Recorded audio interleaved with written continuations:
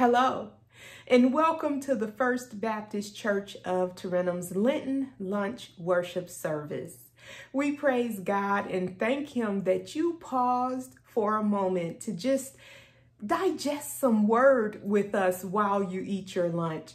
I am Dr. Felicia Brock. I'm the pastor of First Baptist Church of Tarentum, Pennsylvania. And as always, always, I can't express enough how grateful I am that you stopped to spend time with us on today. Certainly, we look forward to the word that is going to be brought on today. And our minister for the day is Minister Valerie Black. Now, let me just tell you, my experience with Minister Valerie has been nothing but exceptional. Uh, Minister Valerie has such a bubbly personality, and we absolutely know that whenever Minister Valerie is in the midst, we are going to have a good time. And she's also willing to work. She most definitely is a worker for the cause of Christ. And, and we just praise God for her on this morning. So let me tell you just a little bit more about Minister Valerie. Valerie Black is a child of the Most High God and has been saved since she was 16 years old. She attended Bethel AME Church in Scranton, Pennsylvania before becoming a member of Shiloh Baptist Church. Valerie is now a member of United Baptist Church of Taylor. As of November 1st, 2020, Valerie has been the interim pastor at Baptist Tabernacle Church in Wilkes-Barre, Pennsylvania. She recently completed the American Baptist Churches of Pennsylvania and Delaware's Academy of Christian Training and Services and is grateful to God that he has given her the opportunity to serve his people. Amen. Amen. The next voice you will hear after a selection from our praise band is that of Minister Valerie Black.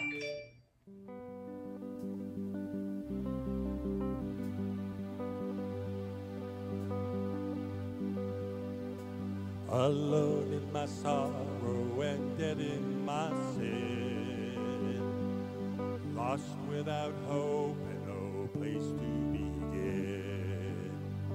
Your love made a way to let mercy come in. When death was arrested and my life began, ash was redeemed, only beauty remained. My orphan heart was given a name. My morning grew quiet, my feet rose to dance.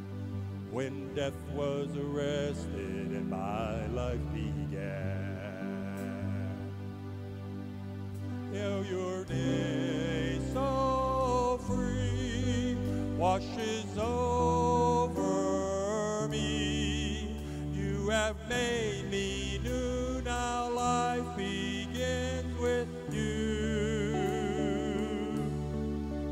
It's your endless love shining down on us. You have made us new, now life begins with you. Released from the chains, I'm a sinner no more. My shame was a ransom my dad and he called me his friend.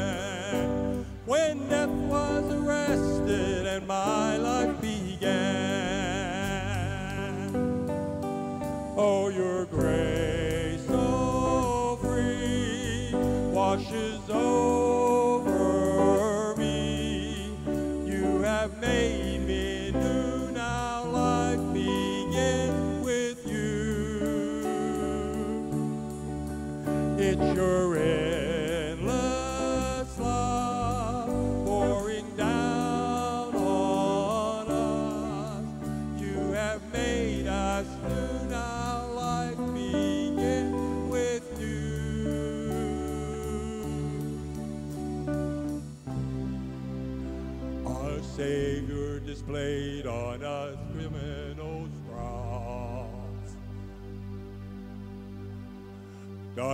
Rejoiced as though heaven had lost. But then Jesus arose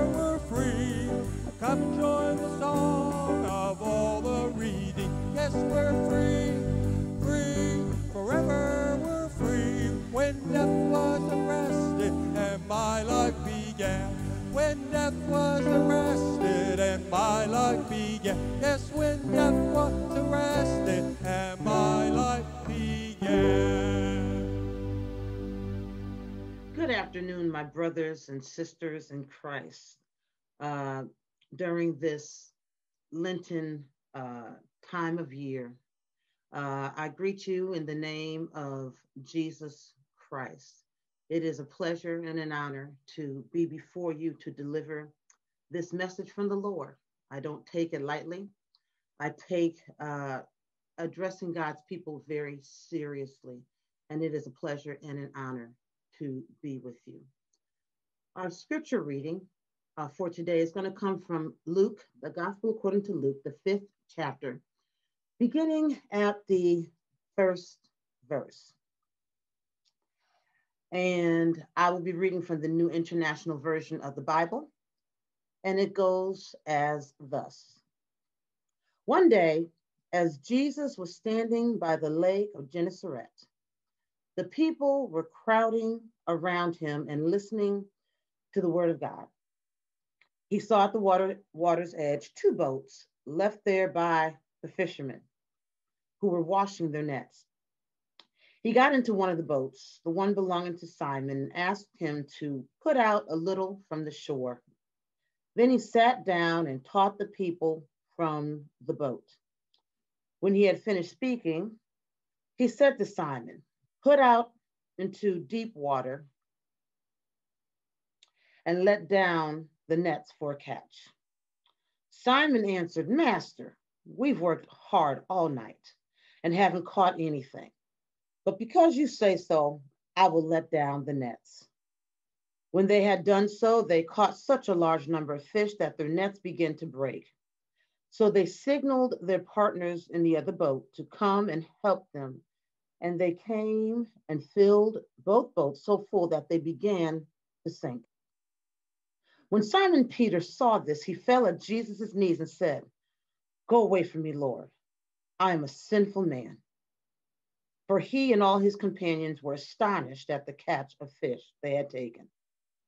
And so were James and John, the sons of Zebedee, Simon's partners. Then Jesus said to Simon, Don't be afraid. From now on, you will fish for people. So they pulled their boats up on shore left everything, and followed him. The word of God for the people of God. Thanks be to God. Let us pray. Heavenly Father, oh, how we love to call you our Father, our Abba Father, our Daddy.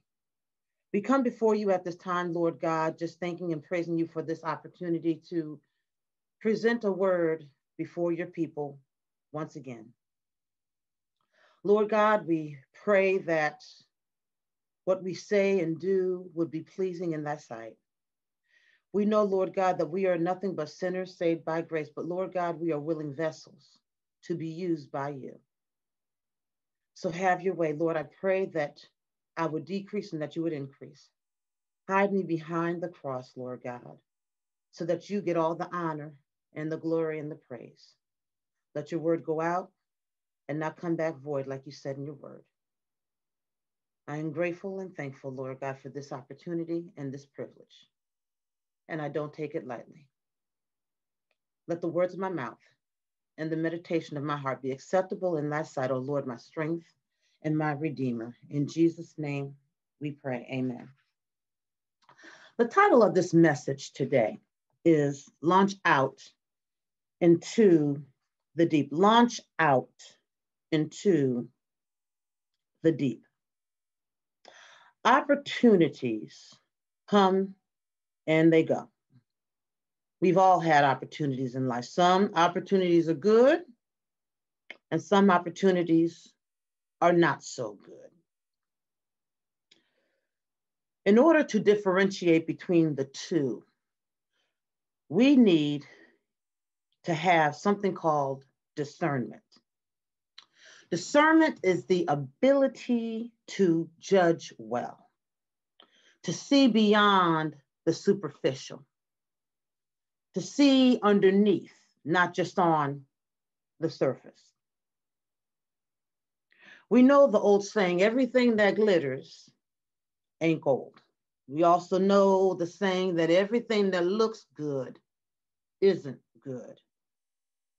We also know the saying, judge a, don't judge a book by its cover. As I said, in order to differentiate between the good opportunities and the bad opportunities, you need to have discernment. Good opportunities come along less often than the bad ones do. One of the shows during this pandemic time that I have grown an affinity for, don't ask me why. Full time, I'm, I'm a probation officer, and normally I don't watch the news. I try not to watch the news because my attitude about that is I see criminals all day. I don't want to see them on my television also. So I don't watch the news for the most part. But the show that I grasped a hold on to is called First 48 Hours. Some of you may know about the show. It's about real life homicides and crimes, and you watch the detectives as they go through the process of solving the crimes. I remember one particular episode where a young man found himself in a bad situation.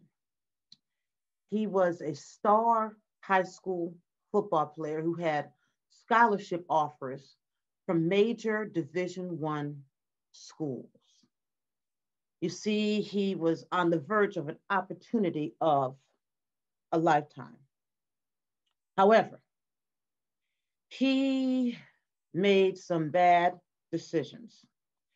And in general, people would look at that decision and say it's not that big of a deal, but for him, it became a big deal. You see, he was the driver for some young men who wound up killing somebody.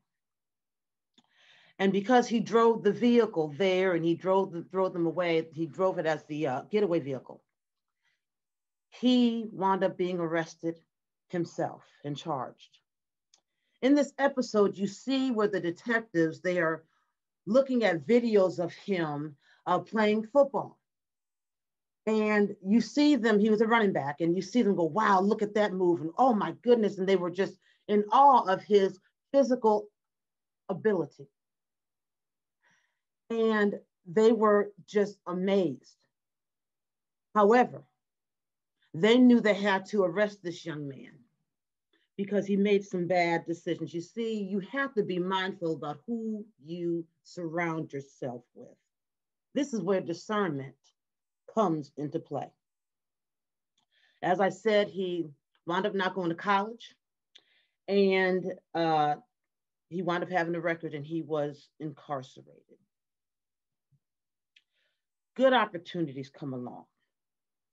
where you are able to get a good job, you're able to uh, uh, begin a new venture, a new business adventure, you good opportunities, relationships where you you meet the right man or you meet the right woman and and things go well, good opportunities. You see, we have to seize on the good opportunities. But in order to seize on the good opportunities, you have to have something called faith. You see, faith and fear cannot coexist. They simply cannot. And your faith needs to supersede your fear in order to seize the good opportunities. Our focus scripture for today, I read in Luke, the fifth chapter, the first and 11th verse, but our focus scripture is going to be the fourth verse, where it says, When he had finished speaking, he said, He being Jesus, said to Simon, Put out into deep water and let down the nets for a catch. The word deep in the original Greek language is the word bathos, from the same root word as bathos, which means profundity, defined as deep insight, deep, great depth of knowledge or thought or a statement or idea that show great knowledge or insight. And they use as an example extent, mystery, or in other words, the unknown. When God gives you a vision, a dream, or he gives you instructions, there are three things that you need to do. One, you need to write it down or journal. And yes, men, that means you too. A lot of times when we think about journaling, we think about women journaling, but men, you need to journal too. Habakkuk, the second chapter, the second verse tells us, Then the Lord answered me, write the vision, make it plain on tablets so he may run who reads it. You see, you have to write it down in order to make sure that you get the instructions right. Sometimes you have to write it down just to remind yourself of what God has told you because I guarantee you it is not always going to be easy. Sometimes you need to read it and read it over and over and over again to encourage yourself to not lose hope, to not abandon the assignment. Secondly, you need to prepare. You need to start doing uh, the work. In the book of Genesis, which is the first book of the Bible, in the sixth chapter, in the 22nd verse, we see here where Noah did everything just as God had commanded him regarding building the ark. And let's be very clear about this. Noah began building the ark not when the rain began, but when God gave him the instructions. You see, what happens a lot of times with us is that we procrastinate. I don't know about you, but I can speak for me. I'm a procrastinator. I will wait till the very last minute to do absolutely everything. I'm trying to get better. That is one of the things that the Lord is working with me on, getting better at being a procrastinator. But you see, the time to begin to do the work is not when God tells you to go, it's when God gives you the instructions. You have to start preparing. You, sh- you need to start laying the groundwork and the foundation. Anything that is successful especially in business or other things in life. That's this is what I have found for myself. It is successful, more successful when you start preparing ahead of time. Prepare ahead of time. Thirdly, then you need to launch. You need to go forward. In Genesis, the, the seventh chapter, the 11th verse, in the 600th year of Noah's life, on the 17th day of the second month of that day, all the springs of the great deep burst forth, and the floodgates of heaven were opened. You see, Moses had already did the work. Noah, excuse me, had already did the work. He built the ark. It did not take him a day. It did not take him a month. It took him years, years of preparation years before God told him there was going to be a great flood until the flood actually came. Moses didn't sit on his hands. He prepared. He got to work. So that when the launch came, he was ready. My brothers and sisters in Christ, I'm a firm believer that this time of pandemic and this time of shutdown that we have been experiencing is not for no reason. God doesn't do anything just because, and He doesn't do anything by accident. Everything He says, everything He does, there is a purpose and a plan behind it. I believe with every bit of Jesus I have within me that God is using this time of pandemic to prepare us, in this time of Lenten time of fasting, to prepare us for greater things. There's a saying if you keep doing what you're doing, you're going to keep getting what you're getting. In order to get something different, you have to do something you've never done before. You have to take a leap of faith you have to launch out into the deep. My brothers and sisters in Christ, it's not faith if you can see it. It's not faith if you can see it. God wants us to depend on nobody and nothing but Him. I'm going to say that again. He wants us depend on to depend on nobody and nothing but Him. You see, we can get very complacent. We can get comfortable with where we are. Any preacher of the gospel can tell you they were minding their own business when God invaded their lives and called them to preach the gospel. I could say that for myself. I was very happy and content doing everything in the church. I was perfectly fine with that. But when he called me to preach the gospel, I ran for years. He called me to preach when I was 17 years old. I didn't go into the gospel until I was in my 40s, go into preaching until I was in my 40s. I ran for over 25 years. Why am I saying that to you?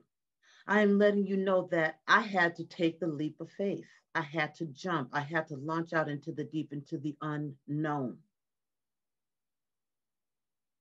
But it's not a bad decision. Sometimes it's a bad decision to leap because you're not ready for it, but it is never a bad decision to leap with God. Never, ever. In our scripture today, we see where Jesus is telling Peter to do something that was against conventional wisdom. It went against everything that Peter had known. And Peter was not a novice at being a fisherman. That was his profession. That was his, that was his, uh, uh, uh that, that was his livelihood. But here comes Jesus, this man he does not know, tells him to do something that is against all general wisdom, manly wisdom, man made wisdom, manly wisdom. And he did it. He launched out into the deep, and the reward was great. With great risk comes great reward. With great risk comes great reward. We, as the Church of Jesus Christ, need to think outside of the box. We've gotten so comfortable and complacent with what we do. How many of you know the saying? I know you said it because I've said it when I was a layperson. We've always done it this way. We don't do things that way. Well, I'm here to tell you God is doing a new thing. He's doing a new thing in each and every one of us individually, and He's doing a new thing in the church of Jesus Christ. God does not want us to get comfortable. He makes us uncomfortable in order for his will to be done. I guarantee you, think about it. Jesus was fine being up in glory. He was comfortable. He was good. But when the need arose, he came down from glory to this sinful world in the form of a baby, who was born to die. He walked this earth for 33 and a half years. For three and a half of those years, he performed miracles and and and and, and he he touched people's lives. He changed the world. As Christians, Christians mean we are supposed to be Christ-like. We're supposed to be like Christ. Jesus didn't care about traditions in his ministry. He bucked tradition left and right. Because he saw the people, he saw the need. His love for us propelled him to do all of those things. God will not take you into a situation that he's not going to bring you through. I'm going to say it again. God is not going to take you into situations that he will not see you through. Why are you saying that, preacher? I'm saying that to tell you if he tells you to launch out into the deep, you better launch out into the deep so you don't miss a great opportunity. Don't let, don't let the train leave the station without you on it. So during this time of Lent and fasting and praying and preparation for uh, the celebration of Jesus's resurrection, I want to encourage you to take the leap of faith and launch out into the deep. When Peter listened to what Jesus had said and, and followed his instructions, and we don't need let us not miss this. He did, they caught all the fish and, and their lives were forever changed. He had no clue no idea what the future held for him, but he knew that spending time with Jesus, that following Jesus was a great opportunity.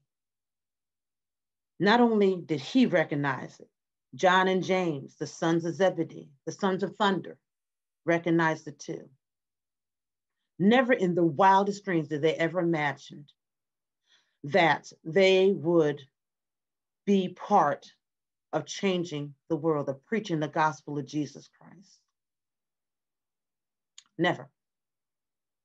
They never thought that they'd be leaders in the church, that they that they would be martyrs, that they would go through what they would go through, that they'd be uh, uh, uh, uh healing people, performing miracles. Never. With this one incident, that was the launching pad for them. And it took great faith. So, my brothers and sisters in Christ, let us write the vision down. Then let us start preparing and doing the work so that when the time comes, we can launch out into the deep. I pray that this message blesses you. I know it has blessed me. And I pray that you have a wonderful Lenten season and that you have a very blessed resurrection day. God bless you. Thank you. Amen. Amen. We thank Minister Valerie for that powerful message from the Lord. Certainly, during this time of Lent, we need to be reminded that we should be preparing because the time will come when we will be offered the opportunity to launch out into the deep. Uh, we just praise God for the message. We are thankful to Minister Valerie, and our prayer is that each and every one of you would stop in and spend this lunchtime with us again on next Wednesday.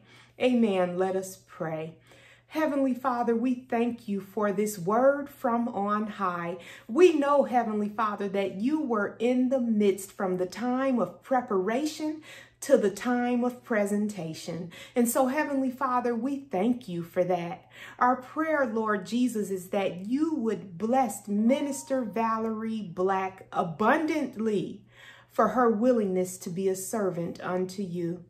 Heavenly Father, right now, in the precious name of Jesus, we pray that you would cover us, Lord, and that your face would shine upon us, that you would give us peace and blessings untold. and bring us back safely together again. In the precious name of Jesus, we do pray. Amen, amen, and amen man.